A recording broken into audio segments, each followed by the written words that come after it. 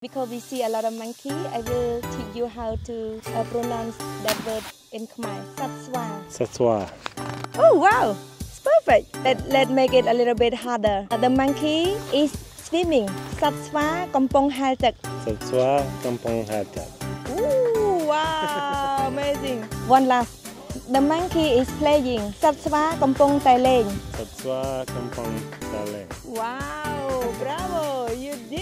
Coming to Cambodia a few times, he learned quite a few words. I'm going to teach him some words that he should learn. Scott. Saste.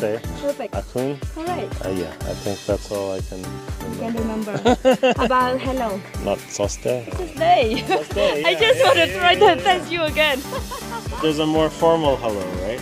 if you can use the word Tuesday, it can make a lot of local people happy. Oh yeah. Yes. No, I say that all the time. The next word that you should learn is Sok Sabai Te. It means how are you? Sok Saksabate. Wow, perfect. And uh, Saksabate.